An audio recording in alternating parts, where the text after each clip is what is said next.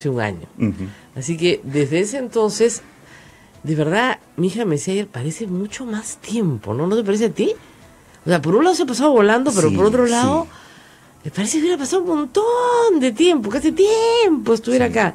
Y claro, eh, primera vuelta, segunda vuelta. eh, Lo que pasa es que han pasado muchas cosas en este- en este, claro. año. Muchas. Cambiamos de presidente, juramentación, este, todo lo que ha venido después, ¿no? Persecución, censura, en fin.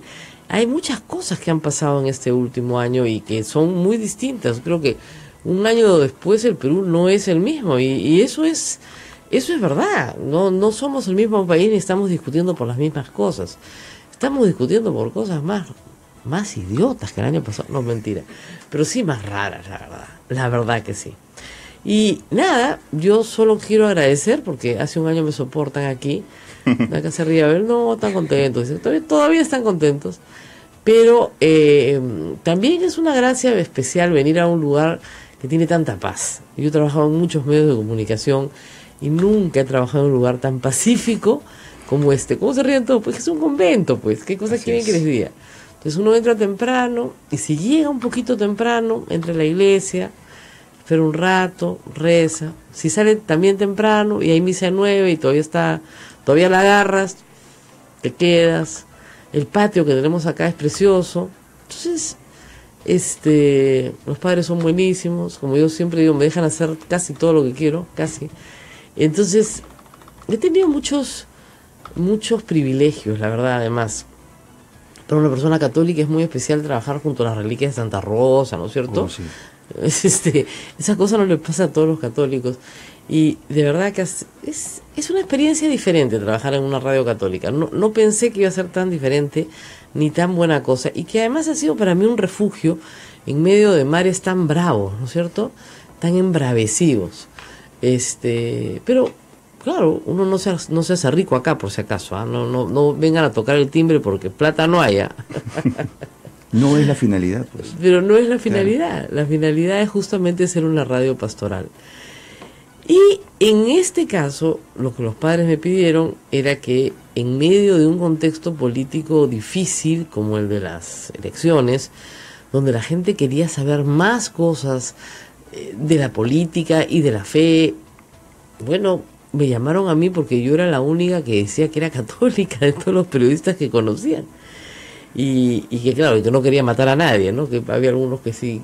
O de- que por lo menos lo decía abiertamente. o que ¿no? por lo menos lo decía Sí. abiertamente, ¿no? Entonces, este, que no tengo ningún problema con decirlo, además mi vida es pública en muchos aspectos y en, cuando uno va a la iglesia, uno va a la iglesia, no va a la iglesia solo, ¿no? Va a la iglesia acompañado. Entonces, este, al principio iba a ser algo muy sencillo y se convirtió en algo más complejo y terminamos haciendo un programa de lunes a viernes con transmisión nacional, con Facebook Live, con este apps y iTunes y, y iBox y cosas que ni siquiera entiendo que suceden y tenemos todo un sistema de podcast por donde se escucha por todo el país. Pero quiero empezar agradeciéndole a un oyente que me escribió anoche por el inicio de ayer. Ayer, como ustedes recordarán, al inicio del programa expliqué las cosas de la forma que hay de explicarlas, porque esta es una radio católica, ¿no es cierto? Expliqué que decía la Biblia, la Biblia dice que Dios es amor, ¿no es cierto? Expliqué que dice el catecismo, bien explicado en el sexto mandamiento, para todos los que quieran entrar es facilísimo, lo ponen en Google, ¿ah? No necesitan un libro gordo y antiguo, no, no, no, está en Google. En la página oficial del Vaticano. lo Claro, la ver. página oficial Claro. eso está, catecismo. O ponen de frente, catecismo católico, página oficial, ya está. Ya, buscan el sexto mandamiento, los puntos que les indiqué ayer, y ahí están, o sea, no es nada complicado. Entonces, un oyente muy amable me escribió tarde anoche, este, estoy tratando de encontrar a toda velocidad, a ver si Santa Rosita me ayuda. ¿Qué fue lo que me escribió? Obviamente no voy a dar su nombre, ¿no? Claro. Porque tengo que respetar su privacidad, porque además lo- me escribió de manera privada. Este, y me escribió para eh, decirme que le había gustado mucho lo que habíamos dicho ayer acá en el programa, por una razón muy sencilla, y se las voy a pasar a explicar. Él es homosexual, es una persona homosexual y que es católica, y que tiene una vida muy dura y muy difícil. Y esto fue lo que me escribió. A ver, vamos a ver si lo encuentro. Con su licencia, este, voy a leerlo sin, por supuesto, dar su nombre, ¿no? Dice lo siguiente, estimada Rosa María, tienes el don de abrir mentes y ampliar criterios y perspectivas de una manera simple. Tu programa de hoy fue vital para mí. Ser homosexual y católico es muy duro. Sufrí mucho por la homofobia de mis padres y más aún por las expresiones en ese sentido de algunos sacerdotes. Llegué a considerar el suicidio como una solución a mi impotencia para, es, para que esa mayoría heterosexual acepte mi derecho a ser feliz y reconocido. Ayer, así fue que ayer me confesé, fue hermoso, me sentí acogido y durante el sacramento abrazado por Cristo. Tus palabras de hoy complementaron lo que necesitaba saber porque no conozco o no recuerdo el catecismo. Eres una persona maravillosa, eso no importa. Dios te bendiga siempre, te tu familia un gran abrazo. O sea, cuando uno lee esas cosas dice, wow. Wow. O sea, qué dura es la vida de una persona que está pensando en el suicidio por no ser igual a los demás. Y lo único que quiere es ser acogido. Nada más. Y qué curioso. Eso es exactamente lo que dice el catecismo no dice que los actos de los homosexuales en su sexualidad sean permitidos por la iglesia. Eso no lo dice. Como no dice tampoco que los actos de la sexualidad de los heterosexuales fuera del matrimonio estén permitidos por la iglesia. Tampoco dice eso. Pero sí dice que el homosexual es una persona que tiene una gran lucha y que tiene que ser tratado con delicadeza, acogida y sin ninguna muestra de discriminación. Sin ninguna muestra de discriminación. Yo le decía, por supuesto, mucha suerte, creo que va a tener una gran vida por delante, una vida que vale la pena vivir a pesar de su condición, que él conoce, acepta, comparte en su confesión y se siente acogido. Esa es la actitud de la Iglesia católica, por lo menos la actitud que los católicos tenemos que tener hacia esta situación. Y el padre Javier, nuestro director, ha hecho un editorial muy bonito. El padre Javier Abanto es una persona que ustedes no ven delante de las cámaras, pero a veces sí delante de los micrófonos, así que lo van a escuchar ahora. Ese es el título. Se llama Respeto Hermanos. Y vamos a escuchar, vamos a escucharlo. La Sociedad Dominica de Medios de Comunicación, Sodomco, presenta su editorial a cargo del padre Javier Abanto Silva, promotor de medios de comunicación de la provincia dominicana San Juan Bautista del Perú.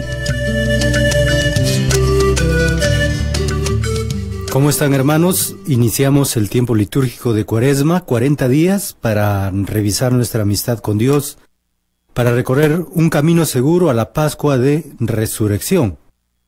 Según el Evangelio de San Mateo, es la oportunidad para volver de corazón a Dios y nos regala tres claves para vivirla.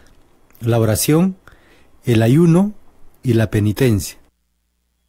Además, el Papa Francisco en su carta para vivir la cuaresma nos pide mirar al otro como un don.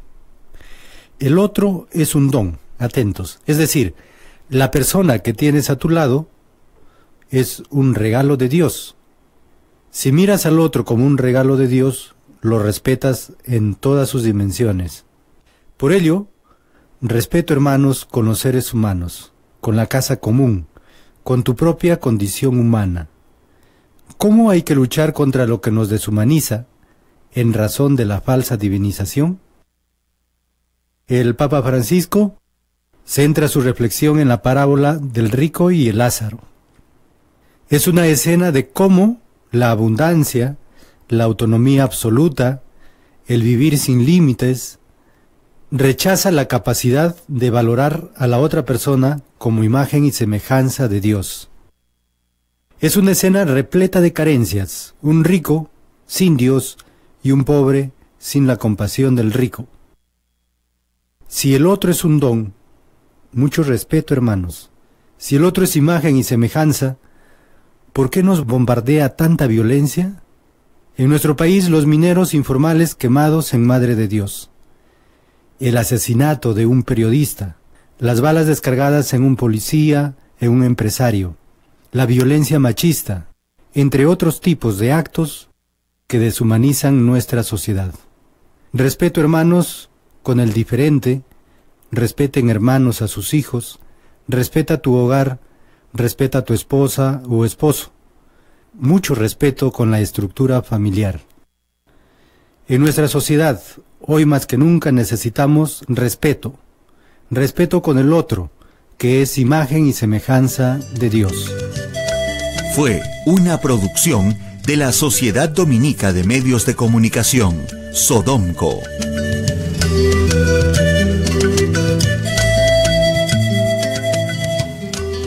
Y ayer el ministro Salvador Solar no sé si lo pudiste ver Ismael, tuvo el coraje, porque hay que tener mucho coraje, de pararse delante del arzobispo de Arequipa, que transformó un acto eh, de reconocimiento religioso al señor Amargura en un acto político, haciéndole un pedido que era inoportuno, ¿no es cierto?, sobre, un tema que no es del currículum, de, además de, perdón, de las potestades del Ministerio de Cultura, este le pidió que pusiera dos linitas, nada más, dos reglones en el currículo nacional que dijeran no a la ideología de género.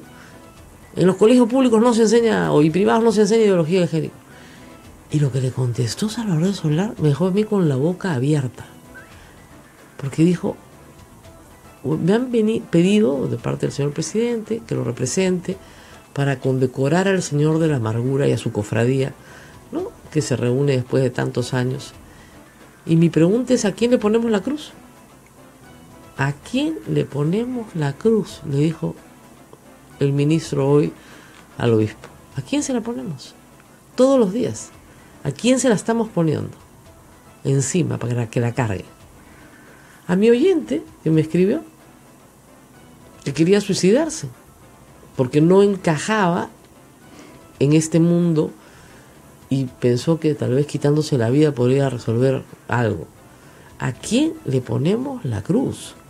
Eso es algo que tener muy claro. Y el Padre nos ha recordado algo que es muy importante, hay que tener respeto por el prójimo, pero eso no quiere decir compartir sus ideas, ¿no es cierto? Ni compartirlas, ni siquiera aceptarlas. Yo puedo pedir que no exista pena de muerte en el Perú, pero no comparto la conducta de un criminal que viola a una criatura. Son dos cosas completamente distintas. Se respeta a la persona. Eso nos lleva al siguiente punto. No se respeta la opinión. Mm. No todas las opiniones son respetables. Se confunde en el Perú que no hay delito de opinión con que no exista delito de difamación con que no exista delito de discriminación, con que no exista delito contra la intimidad familiar y personal. Esos delitos sí existen. Usted puede opinar, pero no puede violar la intimidad de una familia, sugiriendo, ¿no es cierto?, que sus hijos tienen que ir a orgías o cosas por el estilo. Usted sí puede opinar, por supuesto, pero no puede descalificar al prójimo poniéndole adjetivos que indican conductas criminales. Yo no puedo decir fulano de tal es un mermelero, es un ladrón. No puedo. Porque primero no me consta y segundo, si lo dijera tendría que haberse probado en un proceso penal. Lo que sí puedo decir es la conducta de este señor, ¿no es cierto?, no corresponde a la conducta esperada en un político, en un periodista, en un sacerdote.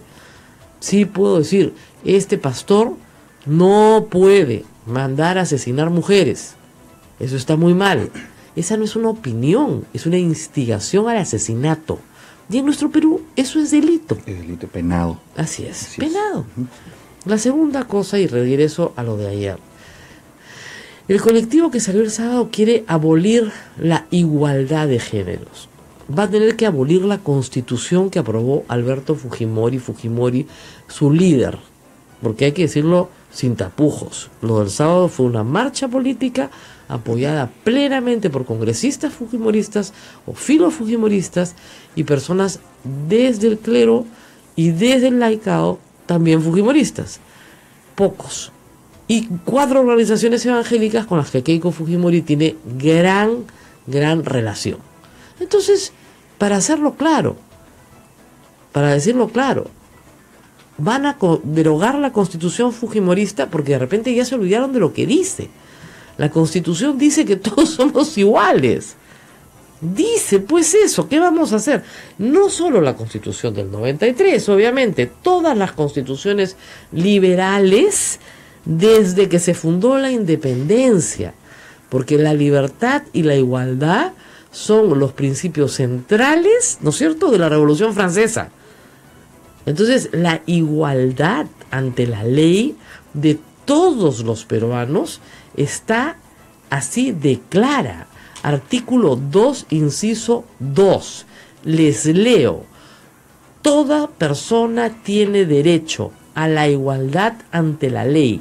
Nadie debe ser discriminado por motivo de origen, raza, sexo, idioma, religión, opinión, condición económica o de cualquier otra índole. De cualquier otra índole. El artículo de la Constitución es absolutamente abierto. ¿Qué van a hacer? Proponer un currículum en el cual a las niñas se les diga que no pueden estudiar ciertas carreras o que solo tienen que estar en la cocina o que solo tienen que salir embarazadas para satisfacer a sus maridos? ¿Eso es lo que le van a decir? Reitero, toda persona tiene derecho a la igualdad ante la ley. Nadie debe ser discriminado por motivo de origen, raza, sexo, idioma, religión, opinión, condición económica o de cualquier otra índole. Eso implica que en el Perú hay libertad de culto, pero al igual que la libertad de culto, hay la libertad de información, expresión, opinión y difusión del pensamiento, estas opiniones tienen límites. Tenemos que hacer una pausa. No sé por qué, porque a nuestro operador creo que le da un infarto. Me hace así, así, ven aquí, ven aquí, ven a mí. Vamos a parar y ya regresamos. Esto es A Pensar Más con Rosa María Palacios.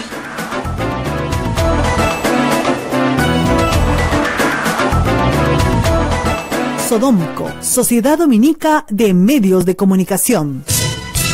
Para el Perú y el mundo, Santa Rosa, buenas nuevas en tu vida. Se acaban las vacaciones y no hemos salido de ¡Atención! ¡Nos vamos a Sayán! Este próximo sábado 18 de marzo, donde conoceremos el Museo Municipal Generalísimo Don José de San Martín. Visitaremos la Gruta Virgen de Fátima y su cálida Plaza de Armas. Además, degustaremos de su exquisita gastronomía, su variedad de dulces, entre otras delicias. Y participaremos de la Eucaristía en la Parroquia San Jerónimo, patrón del pueblo. Recorreremos el malecón de la ciudad y su no te quedes en casa. Informes y reservaciones al 427-6793. Radio Santa Rosa. Buenas nuevas en tu vida.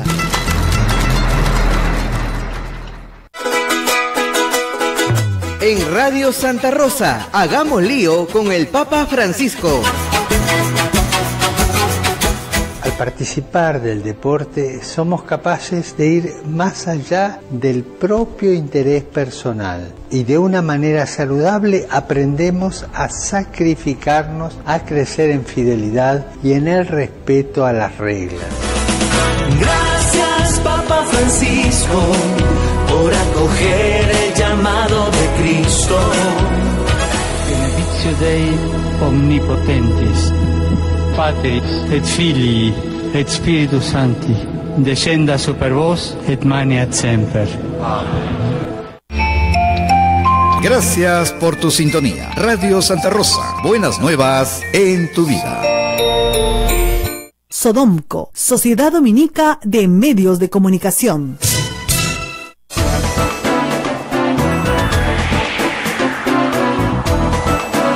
8 de la mañana, 20 minutos. Esta es la Sociedad Dominica de Medios de Comunicación Sodomco, que integra a Radio Santa Rosa en Lima, Radio Santo Domingo Chimbote, Radio San Martín Arequipa, Radio Veritas RTV Cusco y también a nuestras hermanas emisoras Radio Cepagua Ucayali, Radio Quillabamba La Convención y Radio Madre de Dios en Puerto Maldonado. Estamos ahora mismo en Facebook Live, gracias a Radio Santa Rosa a través de su página web.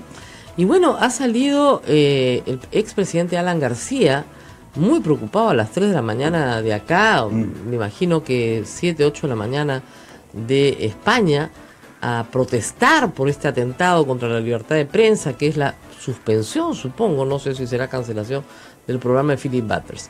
Yo lo he dicho en Twitter, no recuerdo que el señor presidente Alan García haya protestado nunca porque hayan votado a un periodista de ninguna parte, así que no lo ayuda en nada, pero absolutamente en nada salir a defenderlo. Y dos, como expliqué hace un momento, todo derecho, incluido el de la libertad de expresión, tiene límites.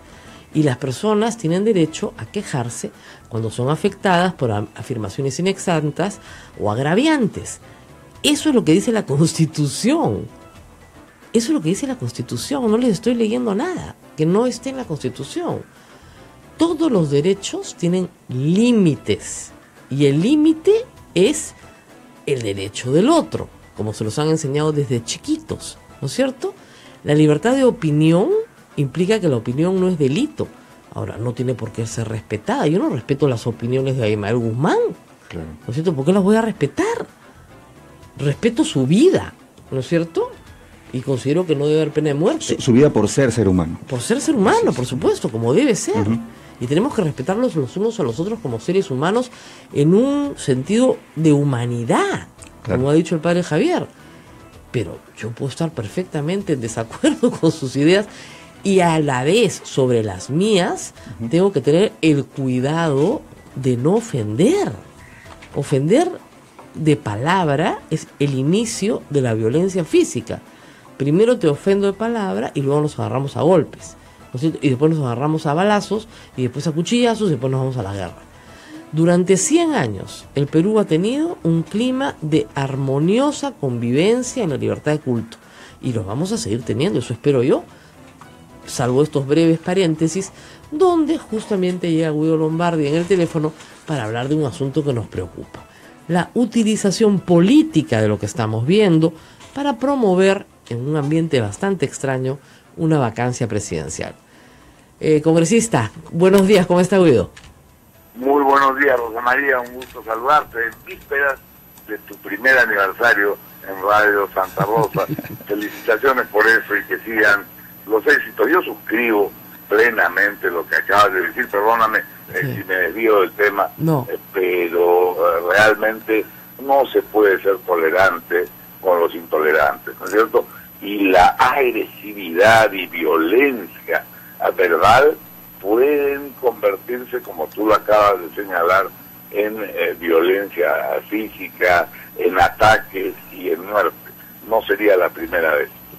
Así es. Eh, a mí me, sorprende y me sorprende gratamente, debo decir, que sea la reacción de los oyentes, del público, la que, eh, yéndose contra los auspiciadores del programa, haya conseguido esta suspensión o lo que fuera del programa de Filibate, porque eh, siento aprecio personal, pero profundo repudio por las ideas que expresa con tanta violencia.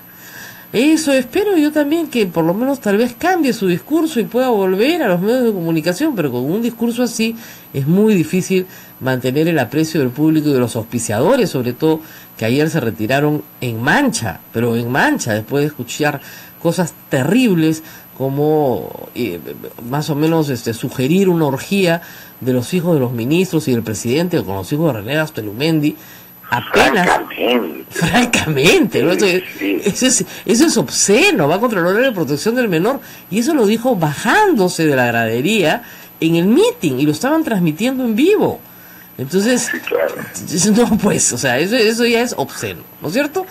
pero esto de no te metas con mis hijos más las acusaciones al ministro Vizcarra más eh, bueno la baja en la popularidad más las imputaciones al presidente para, por irse a Sur. Yo he escrito anoche y creo que no son hechos aislados, que son hechos vinculados al fujimorismo y ahora otras bancadas que están viendo también una oportunidad en un futuro adelanto de elecciones de promover la vacancia del presidente en unos meses o tal vez antes y adelantar las elecciones. En la bancada de ustedes, ¿qué están pensando sobre esto? Bueno, en la bancada nuestra no somos tan pesimistas eh, como tú. Hay evidentemente gente interesada en que se produzca un eh, desorden y que eventualmente apuntando ahora contra Vizcarra están eh, tratando de debilitar la figura presidencial, pero honestamente yo no creo que ese sea el pensamiento mayoritario de Fuerza Popular. Este pescar a ríos revueltos puede eh, beneficiar a algunos actores eh, marginales de la vida política, pero yo creo que Fuerza Popular, y si no demostrarían una falta de criterio enorme, lo que quiere es una transición ordenada para tener la oportunidad que no se les ha presentado en las elecciones del 2021. Esa es eh, la percepción mayoritaria, Claro. te diría yo, En la bancada. en la bancada Pero ¿cómo explicas, cómo explicas, y tú mismo te has peleado con él y me, me parecía lo único aceptable por hacer, ¿cómo explicas las diatribas de Víctor Andrés García Belaúnde?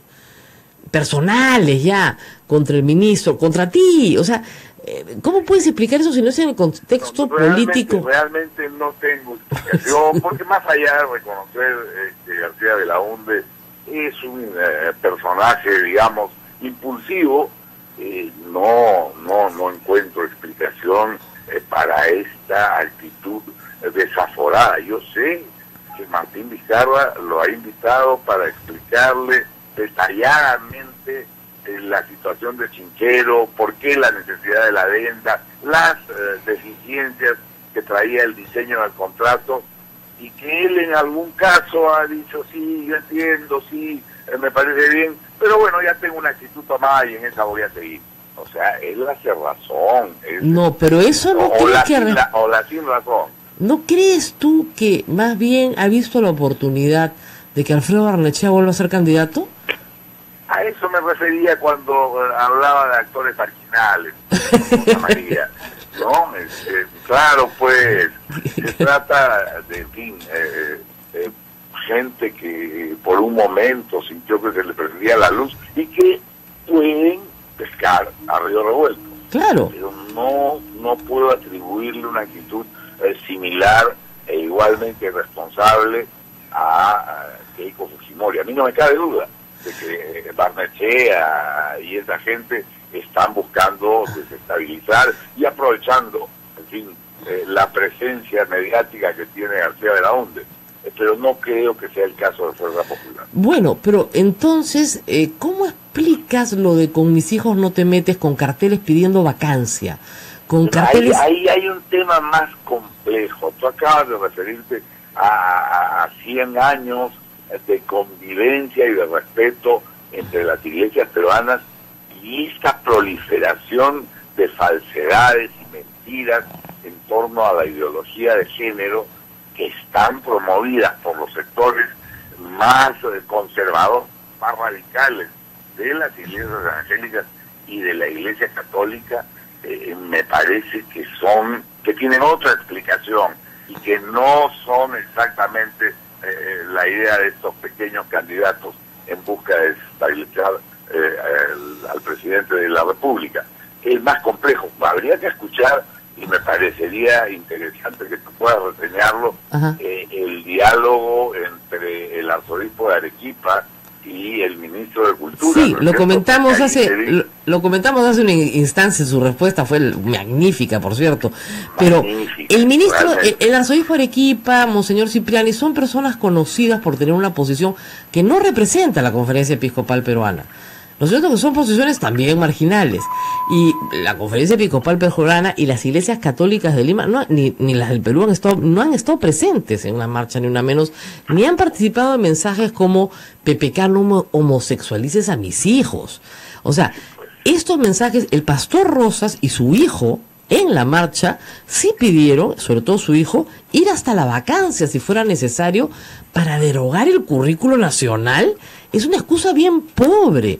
Y yo no creo que ellos sean tan tontos como para creer que alguien puede homosexualizar a otro. Ambos son Bueno, además hay- seguidores de Keiko hay Fujimori. Y todos los demás también. ¿No es raro? sí cree en eso. hay quienes sí creen eso, lamentablemente se han dejado ganar por la es una No, pero los organizadores no creen eso, y sabe- saben que eso no es posible. No, los organizadores no, pero pero bueno, este pastor, que no es el pastor Rojas, que pide a apedrear a dos mujeres, Asesinato, instigación al asesinato, dice que no se acuerda. bueno, ojalá, ojalá que la fiscalía actúe con toda la energía del caso, porque eso efectivamente es la apología del delito. Claro. Y, y como tú decías eh, eh, eh, antes de comenzar nuestra conversación, allí se pasa del insulto a la pedrada y luego a la puñalada y entonces vamos a terminar ah, en la ley de la selva.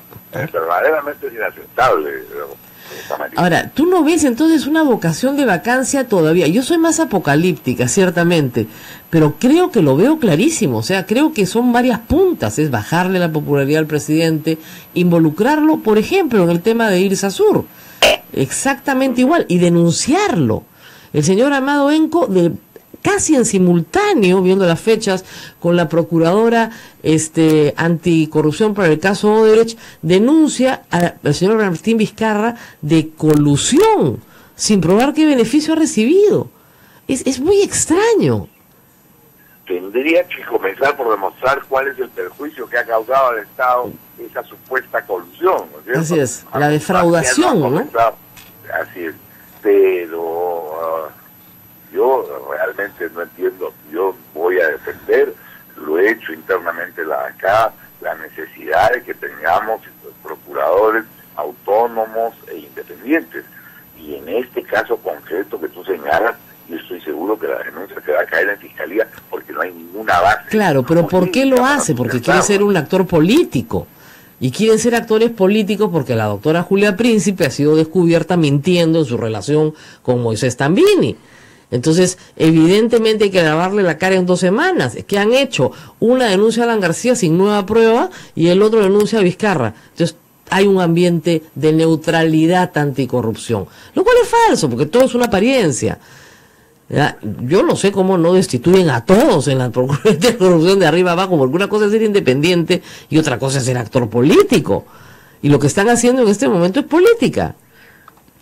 De acuerdo, Rosa María, eh, pero no no quiero que nos convertamos en el señor Adrián pues nosotros propusimos procuradores independientes y a la primera que con todas las carencias eh, que podamos detectar en la denuncia eh, contra Vizcarra, denuncian a un funcionario del gobierno, tú dices, ah, no, que se vaya. No me parece lo correcto. No, no, no, no, pero no es que denuncia a un funcionario del gobierno, denuncia al presidente de la República también, o sea, es, es dos, no cualquier funcionario. Pero en fin, como tú dices, se caerá en fiscalía, ok, pero se hace lo que nos resu- lo, lo, lo, lo que lo que hace eso es que no tenemos un producto, procurador anticorrupción independiente. No tenemos un procurador inde- independiente. Y ustedes nos prometieron un independiente. y, y tenemos en realidad una eh, cortina de humo, no sé sobre qué tema, si sobre el fracaso de la marcha. Pues claro, la marcha fue numerosa, pero fue un fracaso. Para Fue un fracaso, no, para el análisis, tú has hecho, tú has hecho campaña política, sabes lo que vale la volantería, los afiches, las gigantografías que hemos visto el día viernes, eran creo que 150 puentes en Lima, no menos gigantescas. Y habría que preguntarse también, tarea para los procuradores independientes, espero que tengamos en algún momento de dónde salieron esos recursos. Así es, es, es, pero es gigantesco el gasto. Entonces, en el análisis costo-beneficio, haber gastado toda esa plata para 25 mil personas según RPP o 68 mil según la policía, es poco. Y viendo las tomas aéreas de los drones, la verdad, la verdad es que la plata estaba llena, pero no en la parte de los jardines, sino solamente en la parte en las que La, la, información de, de la policía, permíteme la precisión, son 70 mil movilizados en todo el país. Ah, en todo el 25.000 país, sí, verdad, tienes razón. 25 mil en Lima. Exactamente, en todo el país. Para cuatro iglesias, mira, mi parroquia tiene cinco mil personas cada fin de semana, o sea, para cuatro iglesias que tienen locales en todo el Perú, deberían haber movido más gente, la verdad. Es, es poco, co- poco, poco, poco, poco. Pero han dicho que vuelven por más, que no van a parar, que no van a parar hasta vacar a la, perdón, a censurar a la ministra, otra vez, vacar al... Y ya, ¿No? ya está la, la, la congresista evangélica que preguntó a la ministra si había nacido mujer Sí, pues. que ha sido respondida de manera eh, muy inteligente y irónica por nuestro a- amigo Bedoya, Muy, dominical sí, del sí. comercio. Muy bueno. Pero en fin, este, yo creo que Nelly Cuadros está desenfocada ¿no? Este, y no representa ni al movimiento evangélico peruano, de hecho el Consejo Nacional Pero, Evangélico pero digo, había, habían seis congresistas parados en el estrado. Había una bancada ya. Entre pastores, fujimoristas y filofujimoristas, estaba Vieira, ¿no? Este, estaba, eh, claro, Tubino, Guiapanto, o sea, el suspendido, este, Nelly Cuadros, Rosas, tienen bancada propia. Cosa que los católicos no tienen, porque el clero está prohibido postular al Congreso, hay que decirlo también, ¿no? Está absolutamente prohibido postular a cualquier cargo público, aceptar un cargo público, salvo en caso de extrema necesidad. O sea, la Iglesia Católica no puede tener representantes políticos, y hace bien, gracias a Dios, pero la iglesia, estas iglesias sí. Y mezclan religión con política y utilizan religión y política dentro del discurso político. No, lo peor no es mezclar religión eh, con política, Rosa María. Lo peor es mezclar eh, mentiras o medias verdades para engañar a la gente y lo están haciendo a conciencia. Claro, o sea, de verdad que es, que es, que es una, bueno, en fin, una sensación que te hace pensar en otras épocas, en épocas muy pasadas de la humanidad, ¿no?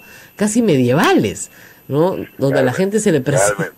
se le, se le Yo, por su yo a, de vida. pesar, a pesar de que estoy muy preocupado por el clima, eh, digamos, enervado que que estamos viviendo y en el Congreso eh, se nota con eh, mucha claridad, creo que las aguas van a retomar su nivel, creo que este eh, cálido verano nos va a permitir eh, un otoño más pacífico. Qué, qué, qué, qué bueno escuchar.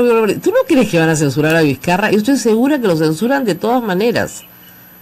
Ah, bueno, si, lo- si censuraran a Vizcarra, ahí ya tenemos una línea ah, de acción que coincide más con tu posición que con la mía. O sea que en dos semanas vamos a poder volver a conversar y, y tú me dirás, ya viste, Eh, o yo te podré decir, Yo espero que me "Sí, escuchen. María, que no era tan grave. No, yo espero que lo preserven y, y me escuchen y renuncie antes, ¿no? Porque además, si el presidente hace cuestión de confianza de Vizcarra, como adelantó y después eh, simplemente vuelan a Zavala al día siguiente.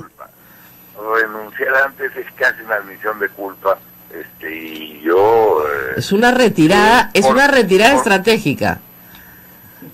Pero hay que hacer política, pues. O sea, tienes que retirarte y regresar al ataque.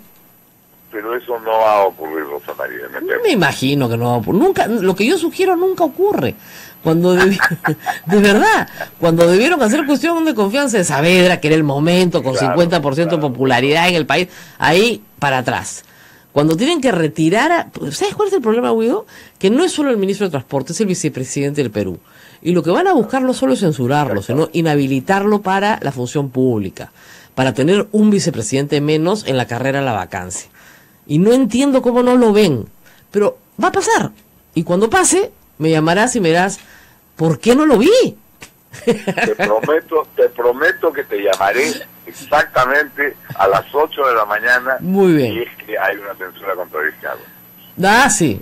Estoy segura que va a haber. Si es que él no renuncia. Rosa María, Muy bien. ha sido como Un- siempre un placer. conversar contigo y tenemos entonces un compromiso de hablar en los próximos eh, En las próximas dos semanas yo 20 te diría, más o menos. Muy bien, muchísimas gracias. Gracias a Guido Lombardi por estar con nosotros. Y eh, bueno, ya lo han escuchado, el Congreso de Guido Lombardi esta mañana aquí en Radio Santa Rosa y en toda la red Sodom con nivel nacional. Nosotros vamos a la pausa y regresamos. Sodómico, Sociedad Dominica de Medios de Comunicación. Somos la primera emisora católica del Perú. La primera en llevarte la mejor información, veraz y precisa, desde el mismo lugar de los hechos. Radio Santa Rosa, buenas nuevas en tu vida. Se acaban las vacaciones y no. ¡Atención! ¡Nos vamos a Sayán! Este próximo sábado 18 de marzo, donde conoceremos el Museo Municipal Generalísimo Don José de San Martín. Visitaremos la Gruta Virgen de Fátima y su cálida Plaza de Armas. Además, degustaremos de su exquisita gastronomía, su variedad de dulces, entre otras delicias. Y participaremos de la Eucaristía en la parroquia San Jerónimo, patrón del pueblo. Recorreremos el malecón de la ciudad y su mirador. No te quedes en casa. Informes y reservaciones al 427-6793. Radio Santa Rosa. Buenas nuevas en tu vida.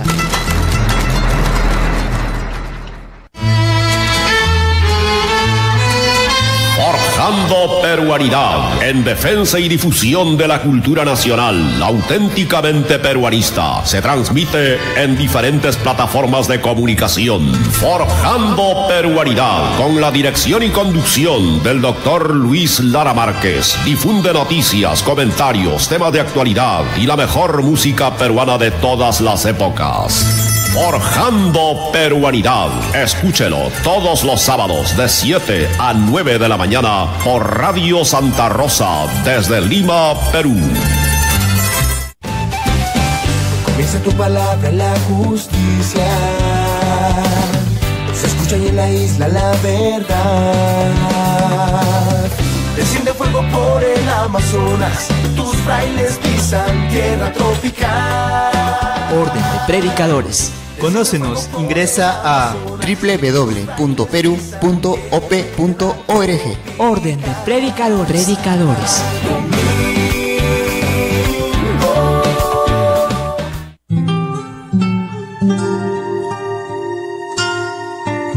Cuaresma. Camino a la Pascua.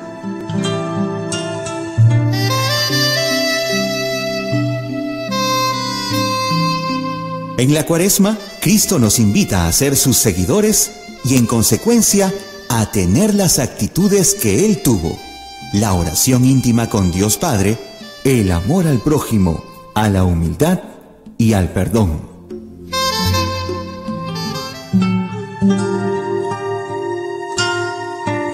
Cuaresma. Camino a la Pascua.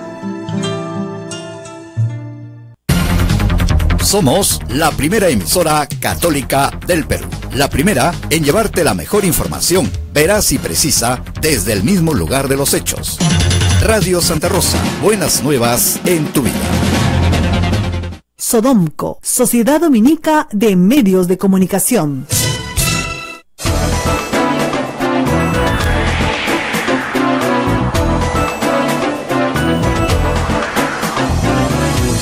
Ocho de la mañana, 44 minutos. Esto es A Pensar Más con Rosa María Palacios en las emisoras de Sodonco.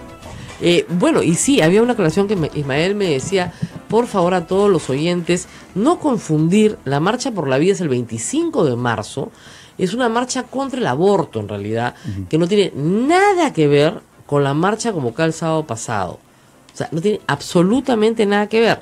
Es una marcha organizada todos los años a nivel mundial, cada obispo lo organiza como mejor le parece, no tiene un gran despliegue de dinero, pero sí hay su propaganda en las parroquias.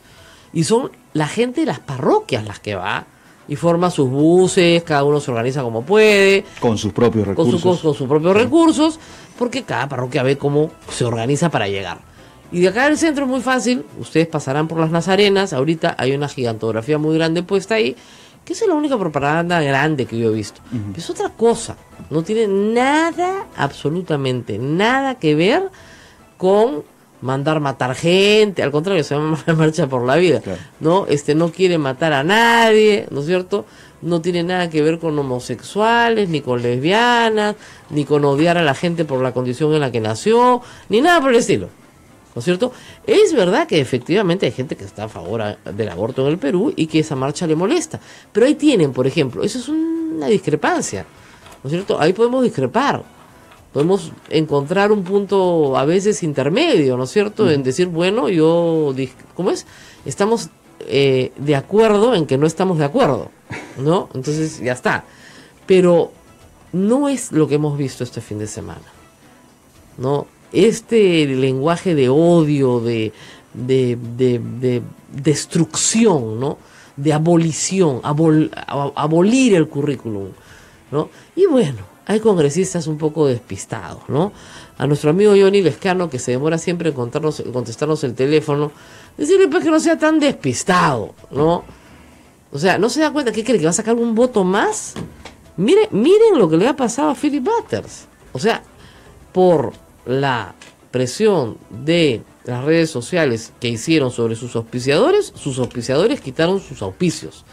Y masivamente, incluso auspiciadores que decían que no tienen trabajos con él, pero que por rotativa en publicidad se pasaba publicidad en su hora. Bueno, mandaron a, decir, Bacus sacó un aviso enorme diciendo que a primera hora pedía que retiraran, incluso en rotativa, la publicidad en su espacio. Ah, Entonces, este, porque no le no, no pagan para que esté ahí, sino pagas para, Para que, para que rote claro. durante todo el día. ¿No es cierto? Entonces, miren lo que ha pasado.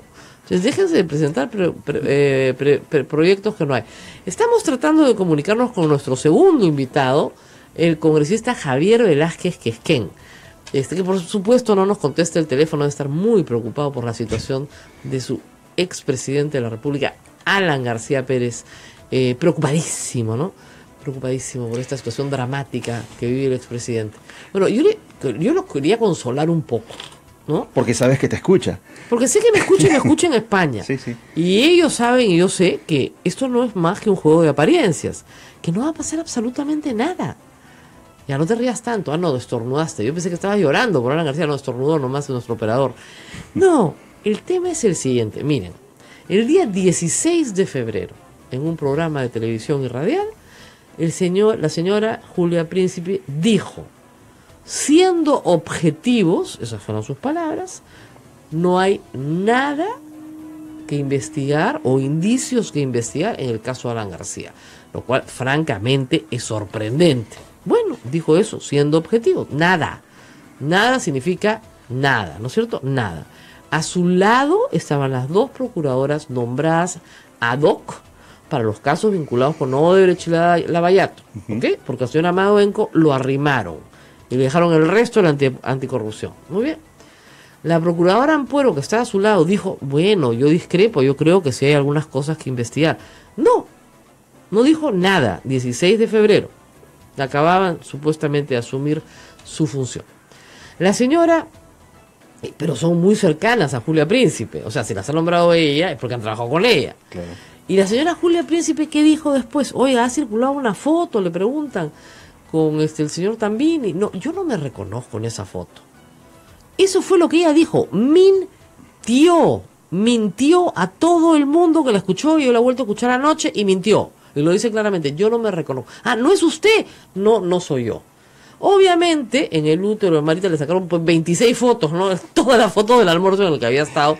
Y resultó no solamente que había estado ahí, que no tiene nada de malo, podría haber estado ahí de casualidad, sino que tenía una estrechísima relación de muchos años con la familia Tambini, que la había nombrado procuradora Alan García de lavado de activos. Ya era procuradora, pero de lavado de activos la había nombrado Alan García, ¿no es cierto? Y que ella había contratado a la nieta de Tambini como, también como eh, en la misma procuraduría. O sea, todo eso nos enteramos después. ¿Qué hacemos para tapar eso? Yo me siento contigo y digo, ¿cómo lo tapamos? ¿Cómo lo tapamos? ¿Cómo lo tapamos? Denunciamos a Alan García. Y han denunciado a Alan García el primero de marzo, nos hemos enterado ayer, o sea, el miércoles de la semana pasada, tiempo más que suficiente para avisarle a Alan García, y el- al día siguiente han denunciado a Vizcarra. Y nos hemos enterado el día sábado. Entonces, ¿qué es lo que estamos viendo? Una apariencia de neutralidad anticorrupción. Es decir, los abogados del Estado están denunciando a todos por igual. ¿Qué cosa nueva sabemos del caso García? Si me dijeran que van a hacer un peritaje sobre sus bienes personales a nivel mundial, pucha, ahí sí, mi respeto, señoras. Muy bien, adelante.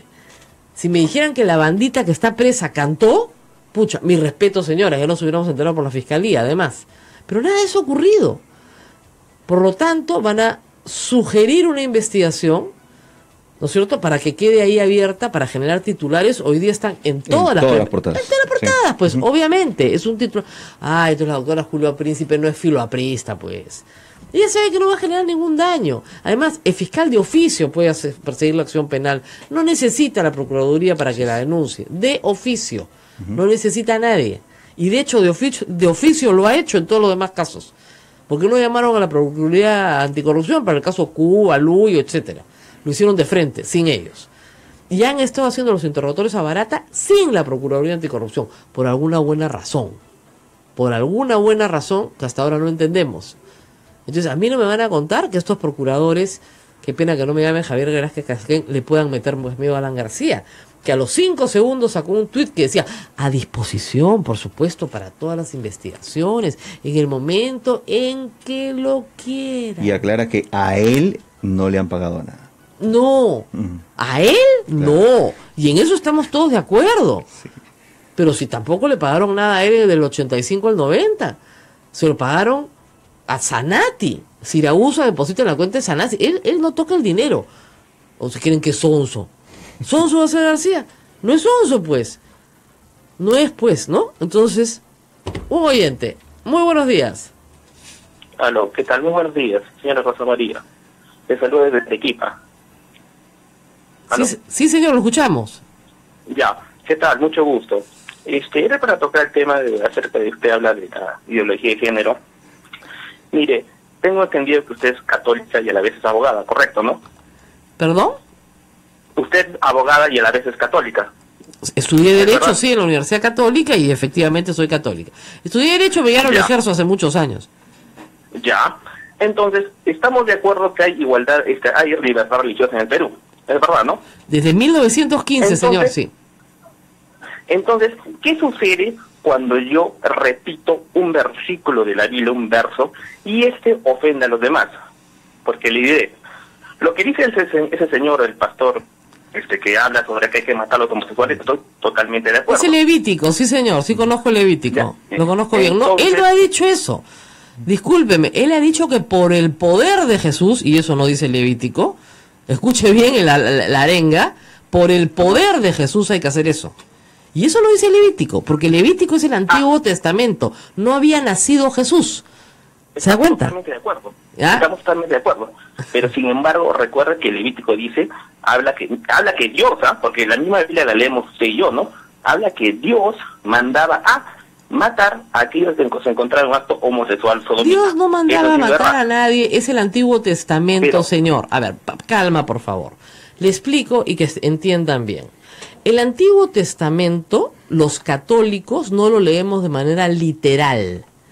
¿Ya? Los evangélicos, algunos grupos radicales, sí lo leen de manera literal. Entonces leen de manera literal cosas que dicen, ¿no es cierto?, personas que escribieron hace dos mil, tres mil o cuatro mil años. La ley del Levítico es la ley con la que crucifican a Cristo. Si usted se reclama cristiano, no puede asumir la ley de los judíos de hace dos mil años como su ley, porque entonces usted estaría justificando la crucifixión de Cristo por blasfemo, por decir yo soy Dios o yo soy el Hijo de Dios. Entonces, si usted quiere versicular conmigo, encantada, soy buena, el día que quiera, pero no atarante a mi audiencia con cosas que no son ciertas. Nosotros no leemos la Biblia de manera literal, ni siquiera leemos de manera literal el Nuevo Testamento, porque si no, usted tendría que arrancarse la lengua por decir mentiras, o cortarse el ojo si es que mira a una mujer por haberlo hecho pecar, o cortarse la mano si toca a una mujer que no es la suya, porque eso es lo que dice el Nuevo Testamento. ¿Se ha cortado usted la mano? No se ha cortado la mano, ¿no? Yo no veo a la gente cristiana de las iglesias evangélicas caminando con las manos mutiladas por la ciudad.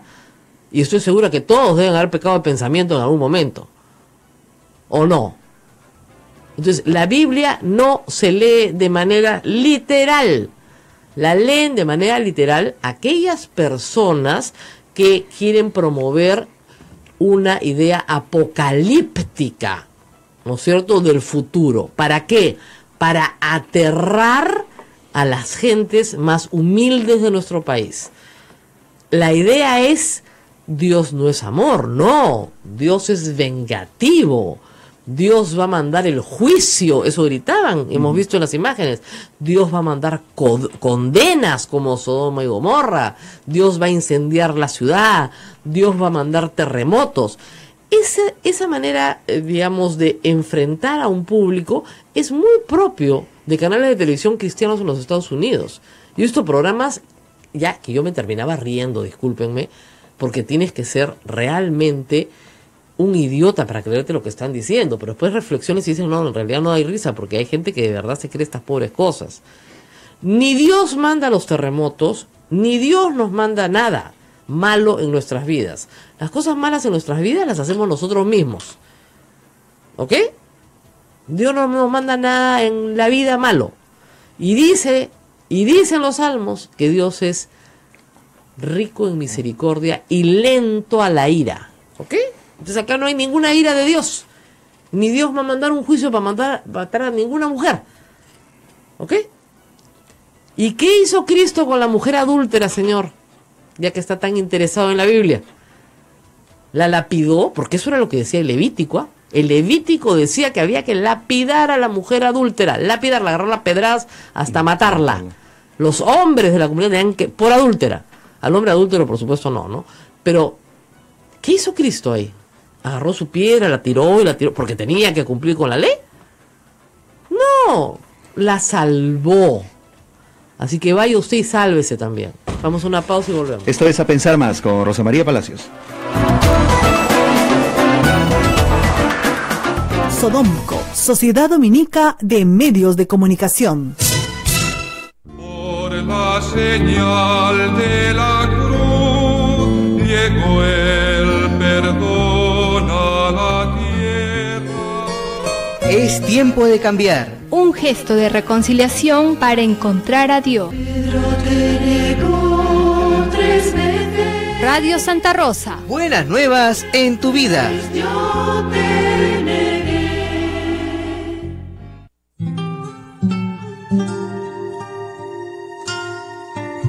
Cuaresma, camino a la Pascua.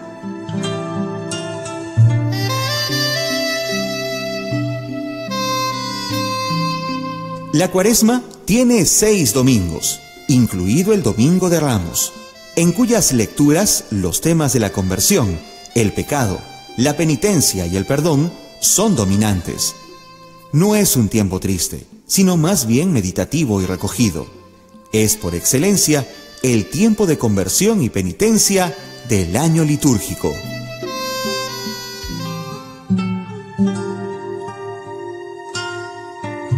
Cuaresma, camino a la Pascua.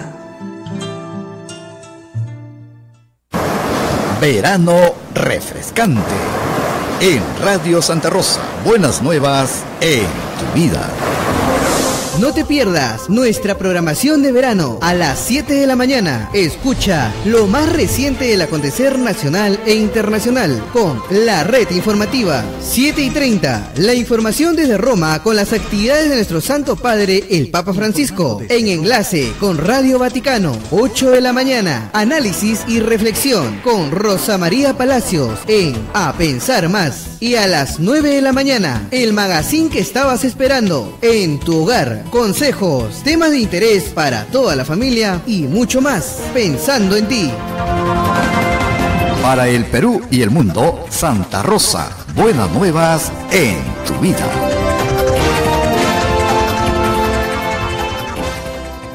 Sodomco, Sociedad Dominica de Medios de Comunicación.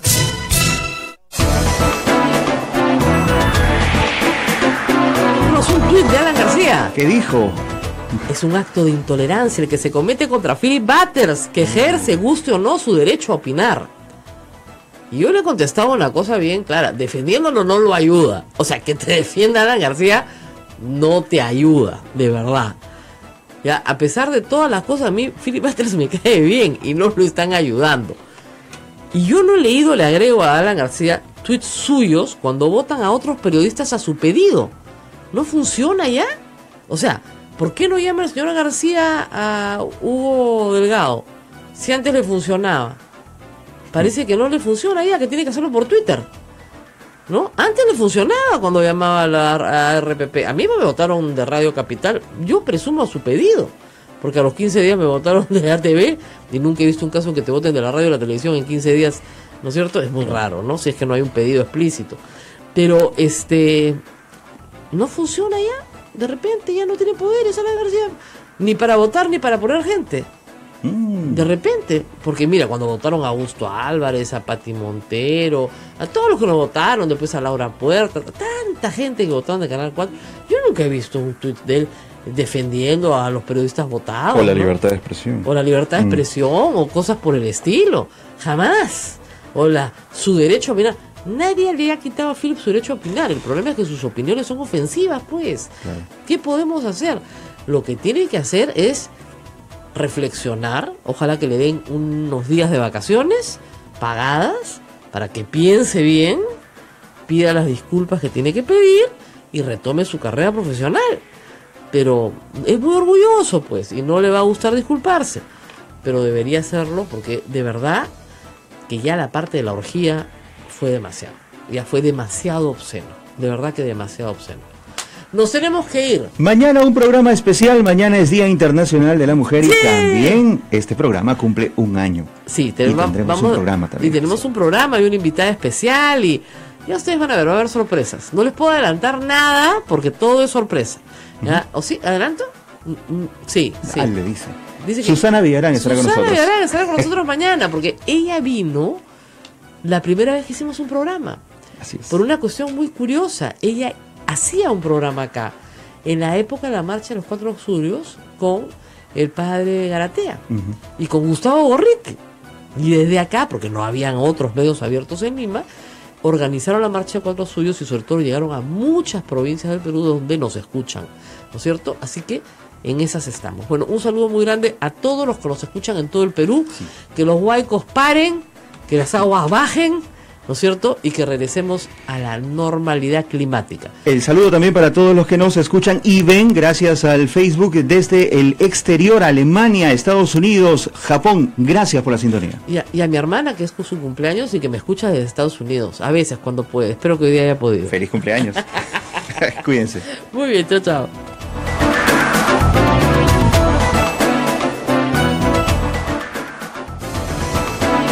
Hasta aquí, a pensar más con Rosa María Palacios.